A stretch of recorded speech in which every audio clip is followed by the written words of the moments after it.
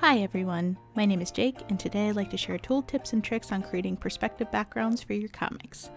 This video will cover tips and advice on perspective tools, utilizing grids, and other useful tips to consider, all of which can be accomplished in Clip Studio Paint.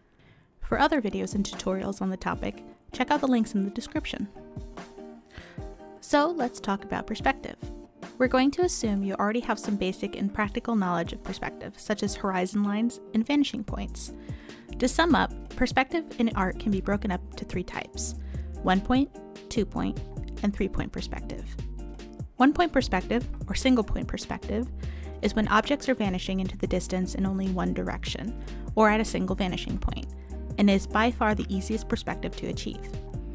Two point perspective is when there are two vanishing points, used to achieve more depth and three dimensionality. And three point perspective though the most rarely used, utilizes three vanishing points, and it is optimal for such things such as looking high up or straight down. There are two ways you can make a perspective ruler layer. To create a ruler from default, go to Layer, Ruler Frame, Create Perspective Ruler. You'll see a pop-up that will ask you if you want 1, 2, or 3-point perspective. Select one of the options and hit OK. If you're working directly in a panel, the tool will automatically size down to the size of the panel. To create a custom perspective using the perspective ruler, go to your ruler tool and find the perspective ruler tool. Below that is a drop-down menu labeled process. Since we're creating a new perspective layer, make sure add vanishing point is selected. Drag two lines and the intersection will become your vanishing point. You've just made one point perspective. If you want to create two point or three point perspective, repeat the process to add additional vanishing points. You can adjust the rulers after you've placed them. You can do this by selecting the Operation tool and clicking the lines directly. You can manipulate the location of the vanishing points and even twist the horizon line for a more dynamic angle. Once you've made your placements, take your favorite brush and start drawing either directly on the ruler layer or on a separate layer. Your strokes will automatically draw along the guidelines as long as the ruler is enabled. If you want to switch back to freehand, you can toggle the ruler layer off or you can hit shift left click on the ruler icon and it will hide the ruler. You can also toggle each perspective point by clicking on the diamond shapes with the object tool, and you will know it's toggled off when a line is struck through the diamond. Now let's talk a little bit about grids. Grids are great for adding a sense of scale and distance, and there are multiple ways you can enable and utilize grids.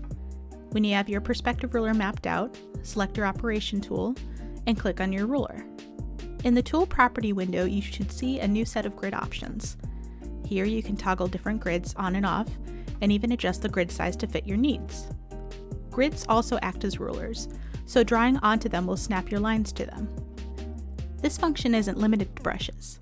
You can also use the Figure tool to draw out shapes that will snap to the perspective ruler. So now that we have the tools down, let me share some advice on how to utilize them effectively. First and foremost, don't be afraid to use references. Whether it's photos of real places or 3D renders, it's really useful in mapping out your vanishing points for particular angles you want, especially when you're practicing. If you're new to drawing backgrounds or just want to practice perspective, find a photograph and start mapping out lines with the shapes you can find.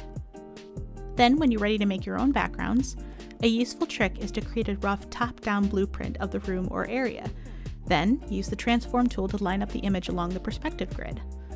Since you've already mapped out where objects are placed, you can then use the ruler to flesh it out. You can use this transform tool to line up just about anything to the ruler as you see fit, like posters or family pictures on the wall.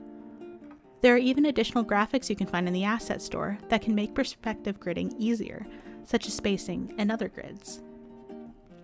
What's really wonderful about Clip Studio is that all these tools are available by default and there's a large library of tools made by users for users, all available in the Clip Studio Asset Store.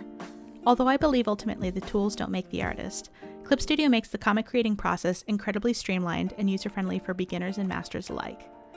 I hope you found this video helpful, and I wish you luck on your comic journey. Thank you for watching, and until next time.